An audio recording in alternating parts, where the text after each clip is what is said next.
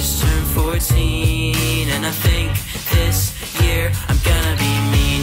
Don't mess with me, I'm a big boy now and I'm very scary. You just don't know it yet, but you